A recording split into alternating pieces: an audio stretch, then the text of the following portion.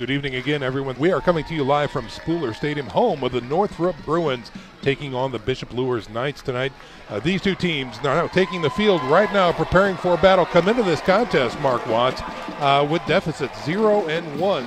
I'm anticipating a very good game tonight. Yeah. I think that these are two evenly matched teams. It's going to be the team who will be able to run the football is going to come out at least first and, and dominate from the shotgun. Here's a good snap. Wazinski fake, play action rolls, throws left, has a man deep in line. That is Austin Mack, and he races in for a Bishop Luers touchdown. And that was just a straight fly pattern, and the cornerback did not anticipate Mack's speed.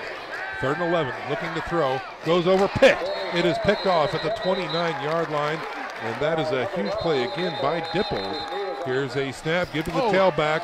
Right side, following the fullback, touchdown, Bishop Luers. And he did follow the fullback. C.J. McCarter just leveled somebody, and he went right off his tail. Nice block, C.J. Wazinski looks to throw, airs it out deep, left side on the fly pattern, caught in stride is Austin Mack, and he is off to the races for a huge Bishop Luers touchdown. Another beautiful connection between Wazinski and Austin Mack. You're going to hear those names all season long for the Bishop Luers Knights as they score again against Northrop. Single man in the backfield is McCarter.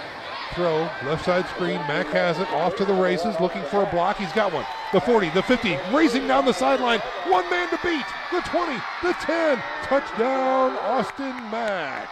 No, I really think that that's probably the best play in the Knights playbook is a short pass, get their receivers in open space and let them do the work. Austin Mack has just uh, broken a single game receiving record. Tonight already in the first half, he has 207. That's going to do it for the first half of action, ladies and gentlemen. Your score is 38 to 0. Bishop Luers on top of the Northrop Bruins. Nick Gray, take it away.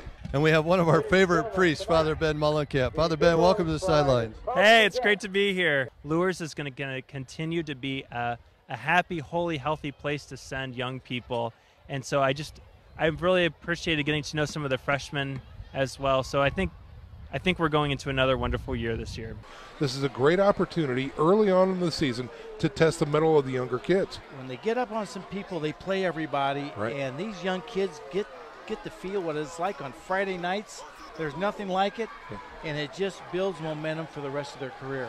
Wazinski from the shotgun, guards pull, counter trey through the middle. Gaston has it, and he breaks free. Past midfield, the 40, the 35, the 30. Two men can catch him. He is finally pushed out of bounds near the 20 yard line of Northrop. Okay, they get the snap off, give to McCarter, bounces it outside, pushes into the end zone, absolutely flattens a defender on the Bishop Luers touchdown. He was smelling the end zone that time. Here's a snap, give to the tailback. Oh, he's hitting the backfield and dropped. My goodness, freight train coming that time, and he is called Jackson Wilkinson, number 35 for Bishop Luers, sophomore linebacker. Second teams are in. Here's a snap, give to the fullback through the middle, finding some room, dancing close to the end zone, dragging tacklers. It is a touchdown for Bishop Luers. Number 45 coming up huge, Nathan Pritchard on the Bishop Luers touchdown. It sounded like a draw, and he just found a hole, and he, he looked, looked. Did you see him high stepping through he there? Did, he oh, did. my goodness. All right, folks, that's going to do it for this contest as both sides make their way to the midfield stripe to shake hands. Your final score 58 to 7. Bishop Luers on top of the Northrop Bruins. We're going to send it down to the sideline with Coach X, who is with Coach Lindsay. Coach Lindsay, you just got to be tickled with your group. They played well in the second half. They did finish, and you were able to get a lot of pups in. Yeah, and that, you know that's always fun when you can watch those kids who put in all that work. I mean, as you know, as a former coach, you don't win ball games without your scout teams, those, those JV kids, and watch them go out there and actually perform. That was, that was fun to see. Tonight, you broke a record receiving over 219 yards. Congratulations, and how does that make you feel?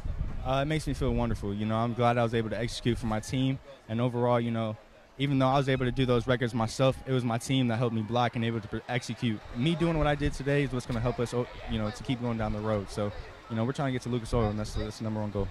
I'm Sean McBride. Good night, God bless, and we'll see you on the sidelines. This is Redeemer Radio 106.3 FM.